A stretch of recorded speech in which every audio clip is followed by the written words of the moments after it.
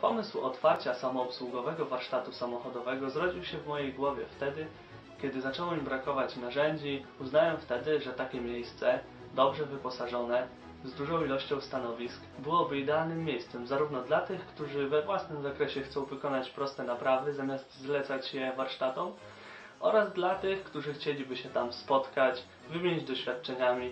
Mam nadzieję, że dzięki temu konkursowi uda mi się zrealizować moje marzenie i doprowadzić do otwarcia takiego warsztatu.